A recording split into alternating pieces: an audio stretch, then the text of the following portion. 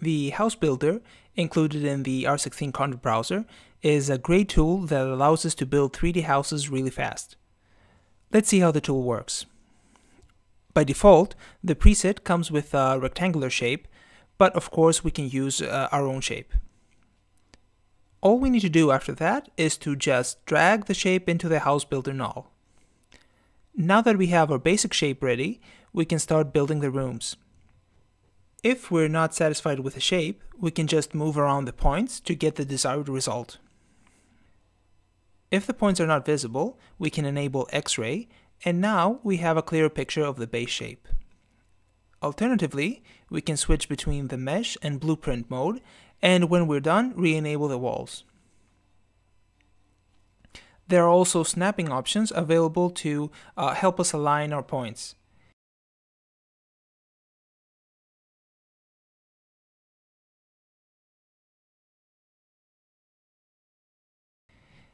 Now that our basic shape is finalized, we can start building the walls for our house. To do that, we select the tool knife command and start cutting our surface. To move things around, we can either move the points or the edges. If we want to get rid of some walls, we just select the edge we want to get rid of and then press the Merge Room command. Now let's start defining our spaces a little bit more. We can either define the spaces we already have or start creating holes for our windows and doors. As you can see here, if I press on the Create Room Styles button, a new null is created with all our rooms. What we can do now is name our rooms and apply specific materials to them.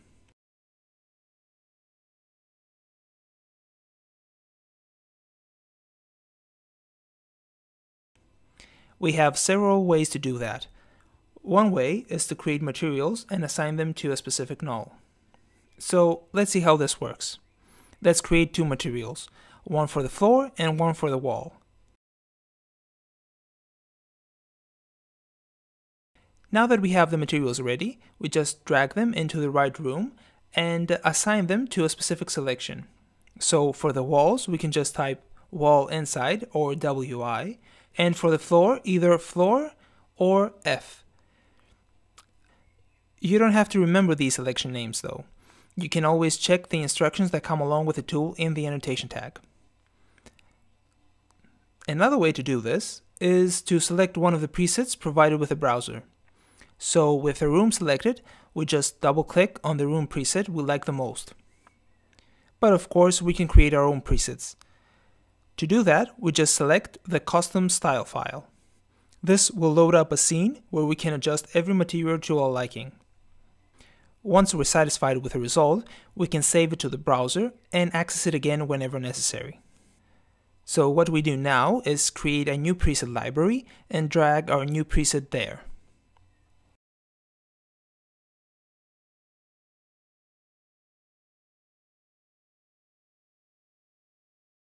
Now to create holes for the windows and doors, we just drag splines into the null named holes for doors and windows.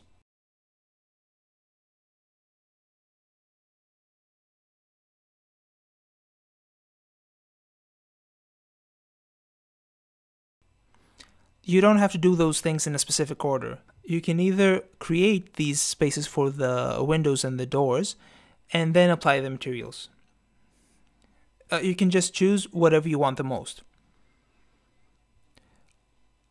On top of these options, we have another option for floor molding. We can either enable or disable it, and also make further adjustments. If we also want to concentrate on a specific room, we can select it and hit the solo button.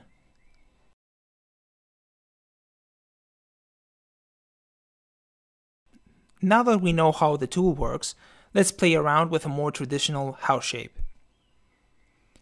We start by just loading up a floor plan on the top view. We quickly trace the shape with a polygon pen and then refine the shape by aligning the points.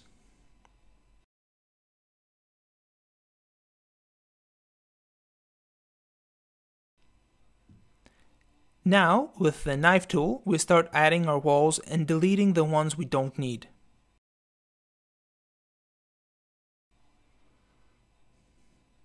By just adding splines, we can quickly add the spaces for windows and doors.